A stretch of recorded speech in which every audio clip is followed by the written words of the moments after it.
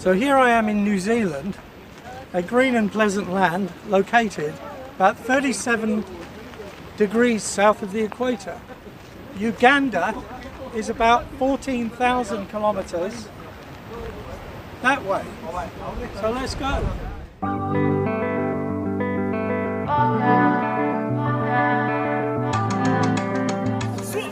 And so, as the Google Earth graphic winds us towards Africa, I should tell you that this Uganda section was part of a larger trip that my partner and I took.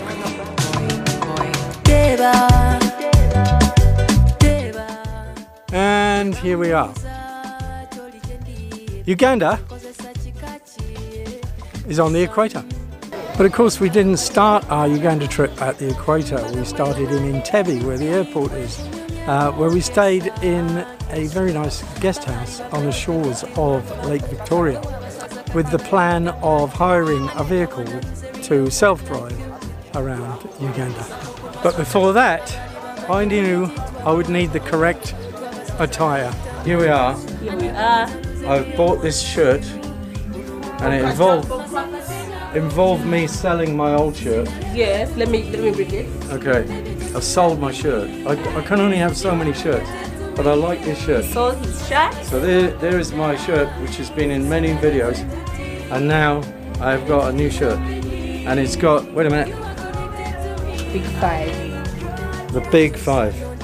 So what is your name? Called Anita. Anita. Thank you, Anita. And you? Your name? My name is Paul. Paul. nice meeting you, Paul. All right. Happy to see you at my shop Yes. in Entebbe, Kajambo Crafts.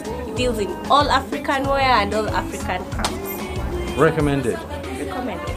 Thank you.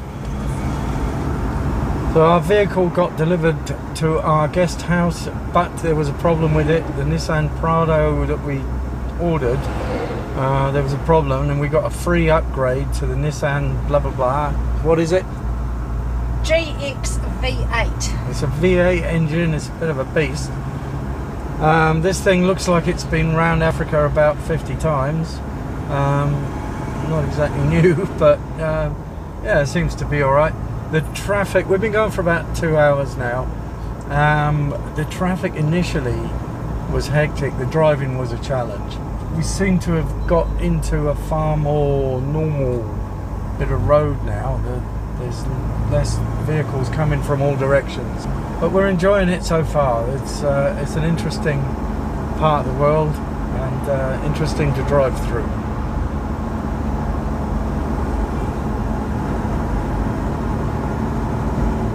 This is the Ziwa Rhino Sanctuary, so we're fucking rhinos. This is DJ Khaled. Hi. The real, the original and best. There he is. Yeah. So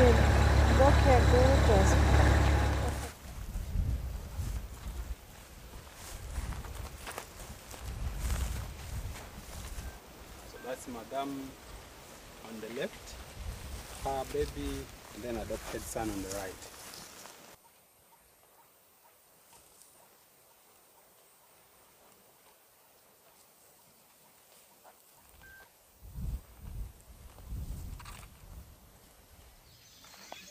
Uh, the restaurant is just over there where we had dinner last night. Um, our room is here. Uh, and we came back from, from dinner last night and couldn't get into our room because there were three rhino grazing on the grass right outside the room there. So we had to hide behind this little wall, this tiny little wall um, which afforded us some protection, I suppose. And we had to wait for the, the rhino to go away. So, got a serious pest control issue here.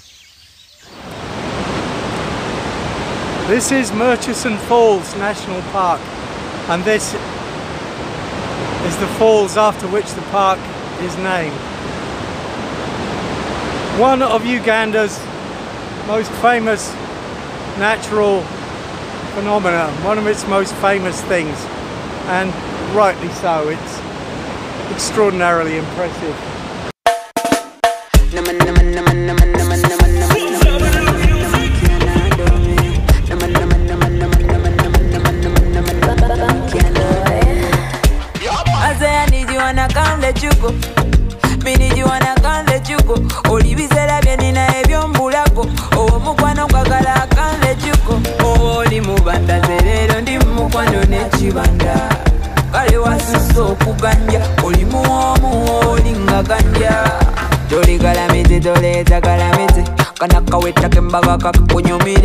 Kakunyumire mulive don't run. Mulive don't rush. Kanaka muliko mukwano kan so me baby don't rush. I'm all over you. All over your body body all over you. So don't rush. All over you. All over your body body all over you. So me baby don't rush. I'm all over you. All over your body body all over you. So me baby don't rush. All over you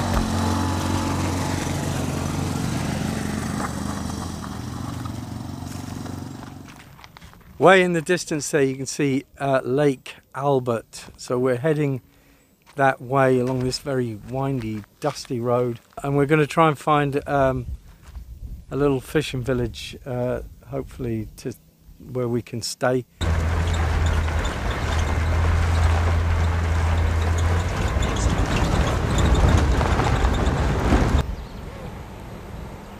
Just uh, drove along the edge of this escarpment here. Uh, there's a really nice waterfall with a pumping station at the bottom there. Should we get you? Do you want to be in our video? Hello.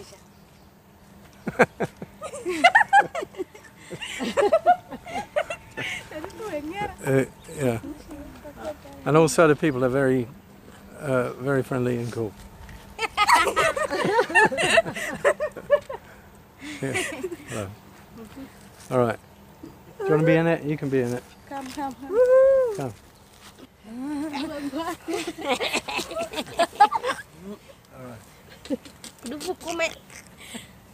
Alright. It's awesome. Get the cows. No, Check that out.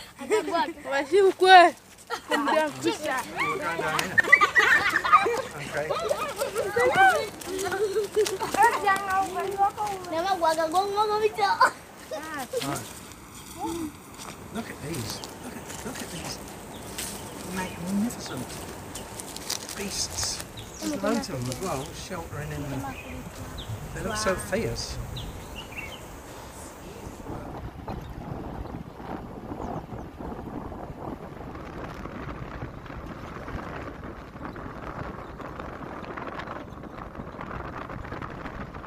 We, we're staying here tonight uh, next to this rather cliched African village in an Ernest Hemingway style tent uh, at the edge of a massive lake, Lake Albert. A more African experience I couldn't begin to imagine. It's, it's, um, it's quite surreal. It's cool. It's really cool. We've been invited to look at this man's goats. He seems pretty proud of his goats. Let's take a look. He's got some young goats apparently, and this very impressive structure. Look at that. Let's take a bit of building. Safety fluoro jacket on. Good to see. Well, let's have a look.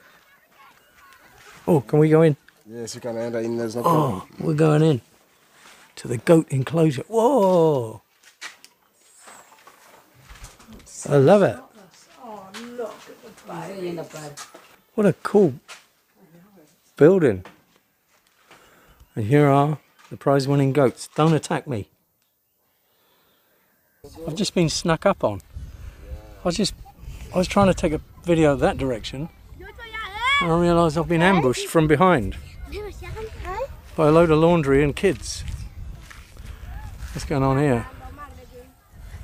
Look at these. Oh, here comes another one. Whoa. There he goes.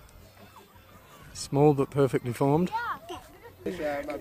Just too cute. Just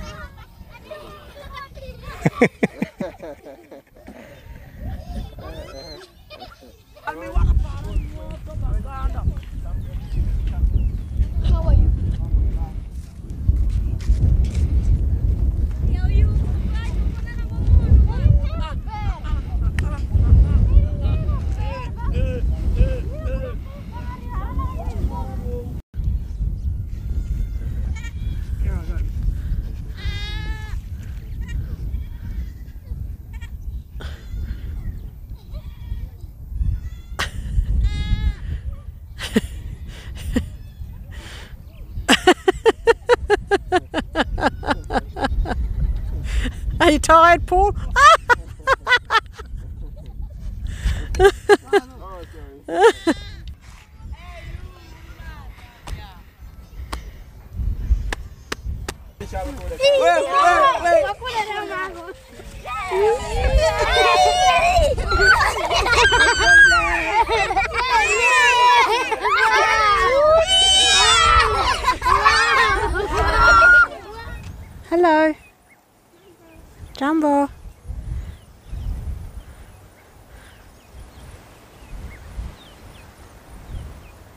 A feeling they are bringing this wood just for us. This is an awesome spot given that not many people would know about it. Love it. We are driving to Fort Portal today. Uh, I've been going for about two hours. I, I don't know, we're about halfway there, I think. So uh, quite a big day of driving today, maybe our biggest day. Um, we're not we're not racing around. Um, been been a good trip so far. Been a great trip actually. The roads are surprisingly good. They're empty, uh, easy, easy to drive. Really, um, you have to keep your wits about you uh, a bit because of all the, know, the livestock and the motorbikes. But they're, they're pretty empty, um, and because they're building a bloody great big pipeline, very controversially, across the country because they're going to be drilling for oil in a national park. The roads have, uh, have improved vastly in the last sort of 10 years, apparently, according to the locals.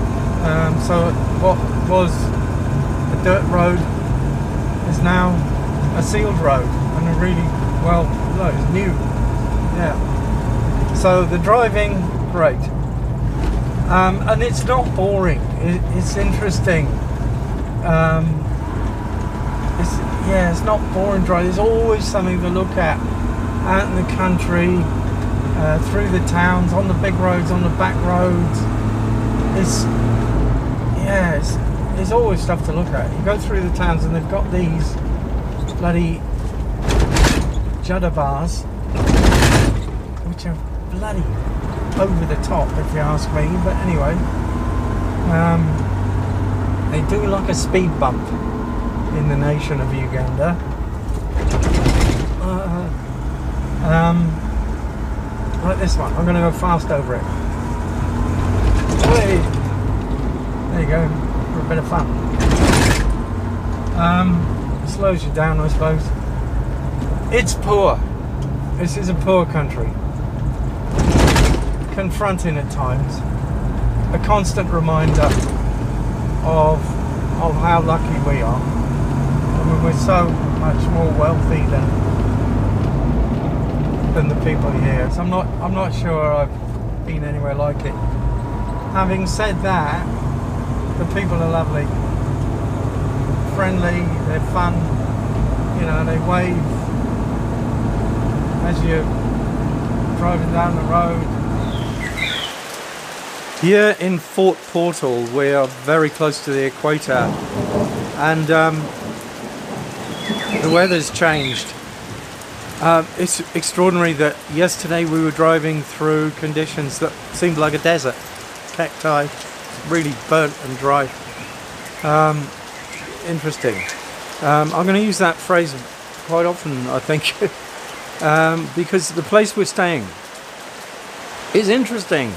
Um, had dinner here last night and discovered that in this youth hostel, um, by far the youngest person staying here is V, um, and the second youngest is me. Um, everybody at dinner had a connection with Uganda's pre-colonial, uh, sorry, pre-independence past, um, when it was a British colony. This place is owned uh, by Dutch people, and we've just had breakfast here. And rather extraordinarily, look at this. Check that out. a great big lump of Dutch cheese. We haven't eaten anything like this since we left New Zealand. So, yes, interesting. We have just stopped on the side of the road to try and turn the heater on, put on sweatshirts and jackets Jumpers, and jumpers. Paul's got his little cap on Cockney hat on. and we're cold and we have turned the aircon off and it's still cold. So it's very strange. But anyway, this is what life has thrown at us, so we are going to make the best of it. Oh, look at all that tea. Oh yeah, the tea. I'll show you.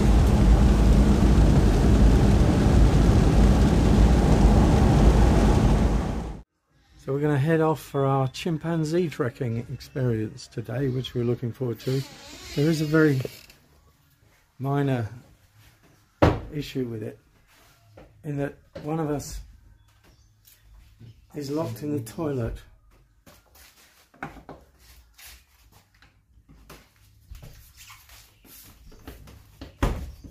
How you doing, babe? Pardon? How are you? I'm okay. Can you see my camera? Yeah. Hello. Uh, it's a pretty lonely place in here. Right, Locked in the toilet. Right. Um, let's hope I get out one day.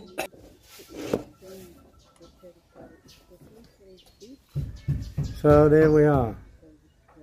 Updates to follow. I made it out of the toilet alive. Trying to organise chimpanzee tickets from behind a toilet wall with four men banging away at it, but we've made it. We've now got 50 minutes to get to see chimpanzees.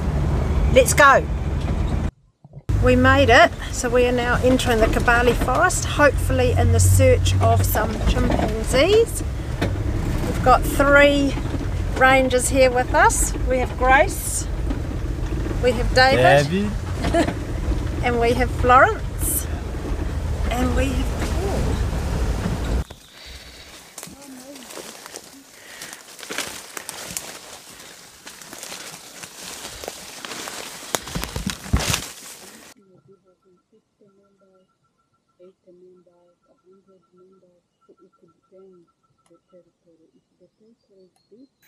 This is the Kibale forest, which contains this troop of habituated chimpanzees. This one's eating a wild jackfruit.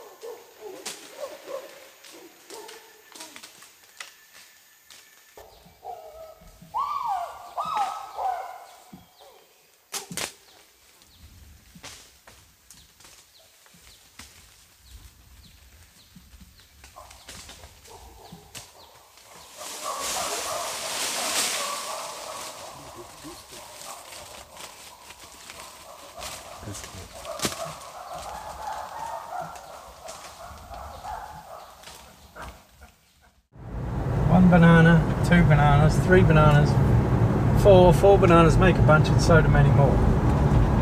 They're not short of a banana. There's bananas there. We left Fort Portal behind and we're, we're travelling further south, deep into banana country. Let's go.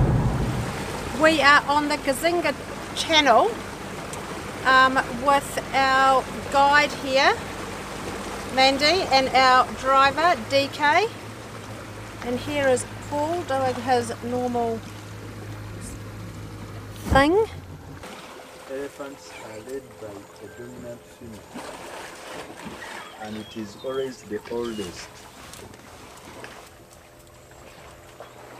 So you can differentiate whether it is a lefty or a righty.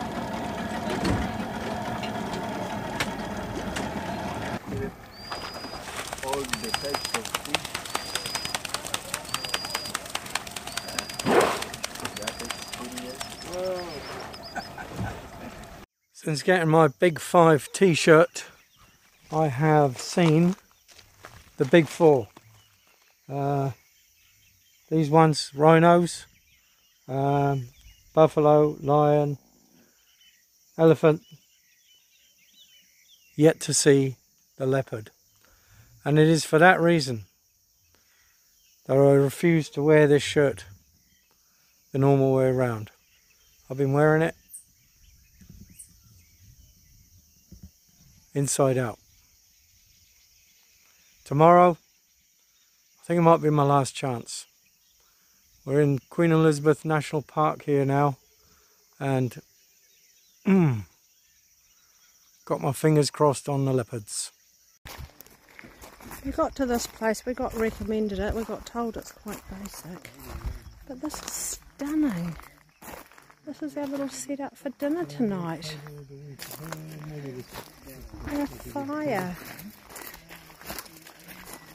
So we're just having dinner over there, and having dinner over here.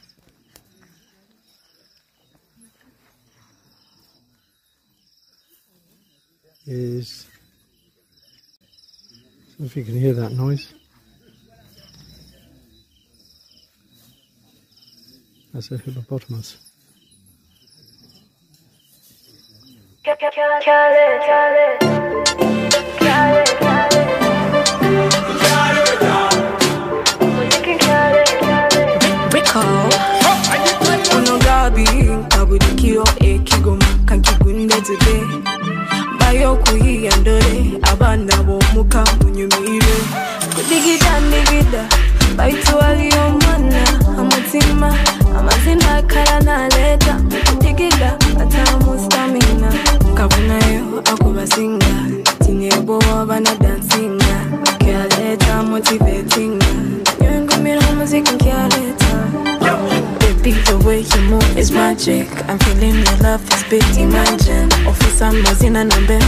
Sergeant. Sembera kugambira kiri agent. Emikono haigulu bolaba nokunyumirwa muziki nkyaleeta. Emikono haigulu nokona kagoma kano muziki nkyaleeta. Okunyumirwa, kunyumirwa, okunyumirwa, kunyumirwa. Okunyumirwa, kunyumirwa, okunyumirwa, kunyumirwa. In the tree behind me, you're just gonna have to believe me. There's a leopard. I would take a picture of it, but with impeccable timing, the camera's packed up and we're trying to fix it. Then I came up with the idea of using my pair of binoculars and my phone camera and putting the lens of the phone camera up against the binoculars. So feast your eyes on these leopard pictures.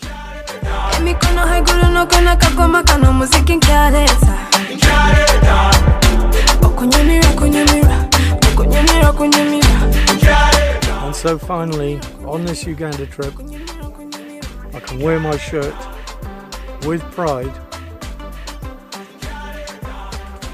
the right way around. Feast your eyes. Imagine, officer mazina nambe We've just left Queen Elizabeth National Park, heading down the road, and from a bridge we've seen this fishing village that is so alive and full of colour. Let's go and have a little look around.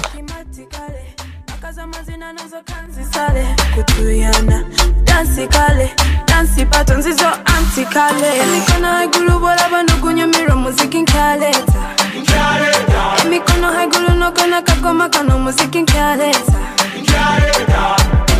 okunyumira oh, okunyumira okunyumira oh, okunyumira okunyumira oh, okunyumira okunyumira okunyumira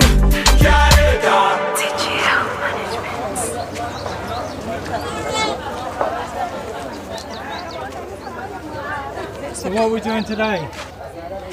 We are going to Kihihi. Right. on our way down to Lake Bunyonyi. We're going to drive through uh, Queen Elizabeth National Park. Let's go. Come on. So we're just driving through the Queen Elizabeth National Park. We're taking the back way straight through the park.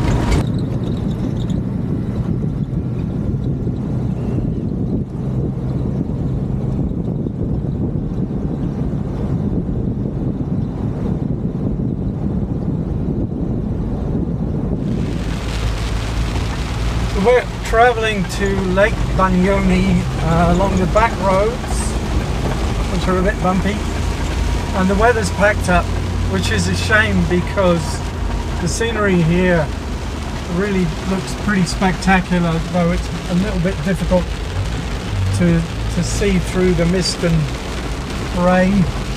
Um, also a shame because I'm actually getting rained on even though I'm inside the car. I'm actually getting wet, but never mind. Uh, we will carry on. Check out that. Look out that window there. Wow, you can't see it on the camera. But uh, it's, it's, it's a beautiful country. Look at that. I'll just pull over and see if I can demonstrate the type of scenery that we're driving through.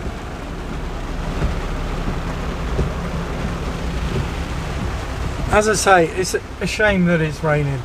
Um, hopefully it'll clear up soon. The storms here seem to seem to blow over reasonably quickly. Famous last words.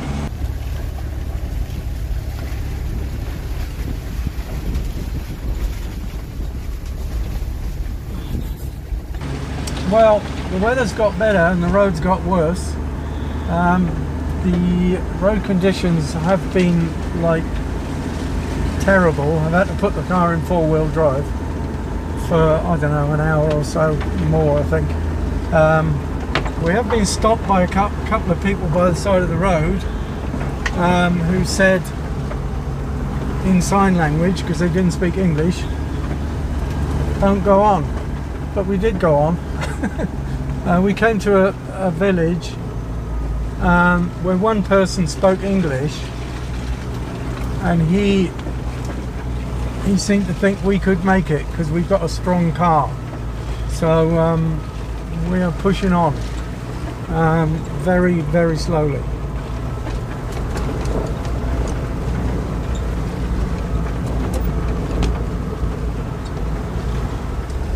Right, panic over, think. Um, we've got out of that forestry road and the road's turned into something a bit better. We've gone into uh, territory that's uh, full of these lovely tea plantations and we've spotted some vehicles coming this way so if they can get through we can get through so I think we're going to live It's okay now.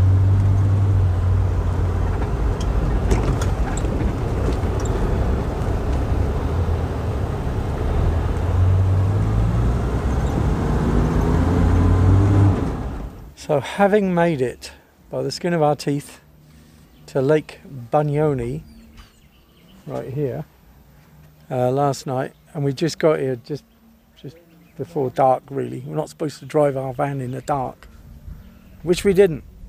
And while while here, one is required to go for a swim. Is that right? I feel I should go for a swim. Right. That's the thing. I'm so scared though. What's it like for temperature? it's cold. I just don't care about any of that because I'm a bit scared. Come on, dive. Do a backwards dive.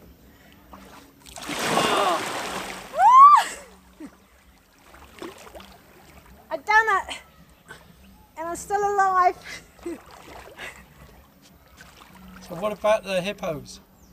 Well, apparently this is the only lake without hippos or crocodiles. but I don't know if I'm buying it. So hmm. it's going to be a short swim. Okay.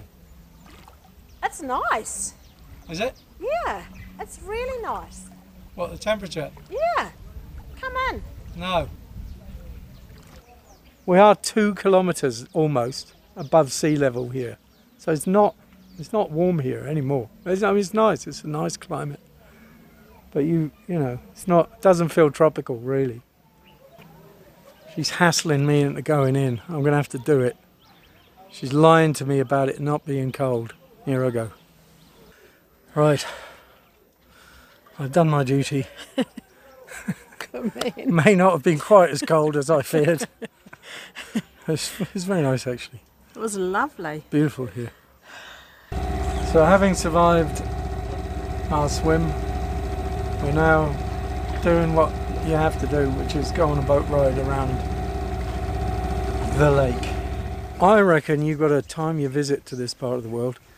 Uh, it's the start of March now, which is the start of the rainy season, end of the dry. Um, and we've just got off our little boat and come stop for a drink at this resort. And um, here we are. Nobody else here. Quite strange. There's a, a, whole island with a guy waiting to sell cokes, and only us here.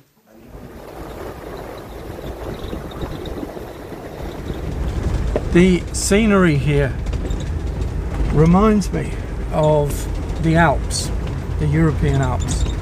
Uh, the little houses on the hills, the, the bits of uh, tiny bits of agricultural land, the goats wandering across the road, particularly uh, from from our childhood when we went to um, what was then Yugoslavia, what, what is now Slovenia and Croatia. Um, it's yeah, it, it's so picturesque, uh, very quaint actually. We're leaving Uganda today. Um, quick summary of the place. First of all, I'm going to start with the bad. It's not a cheap country. It's not set up for budget travel. I consider myself a budget traveller, and um, really, you go from one tourist enclave to the next, and there's not much in between, really. I mean, I've been travelling with my partner, and she likes a bit of luxury anyway. Uh, but I can honestly say, I've, I've, this is the most expensive sort of trip I've ever had. I, I well, I don't know about that, but I think it might be. Um, which is odd for such a poor country. Um, which is one of the reasons why uh, we didn't do the gorilla trekking, the gorillas in the mist. We didn't do it uh, because it, it is prohibitively expensive. Um, we did the chimpanzee one, which was awesome, and I, I just thought, well, let's quit while we're ahead. Um, that's the bad. The other bad is the towns, and nothing to speak of really. There's nothing much in the towns. Having got that out the way, the good. It's a fantastic place. the the scenery, the people are great. I mean, we haven't had one bit of hassle since we got to Uganda over two weeks ago, um, and been round the country. Um, people have been really friendly. Yeah. Um, the scenery. What can I say? I mean, the, the camera doesn't do it justice, but the wildlife, amazing, incredible. Like just just the bird life is incredible. I've never seen birds like it. I'm not like a bird fancier or anything, but I kind of become one. It's like yeah, uh, and and the you know the big animals, you know the tigers, not tigers, lions, um, yeah, hippos coming up and while you're having dinner. amazing. Um, yeah, Uganda. This was supposed to be a quick summary. It's a beautiful country. Here's a guy with an umbrella on a motorbike with his whole family on the back, probably. Um, see you in the next one.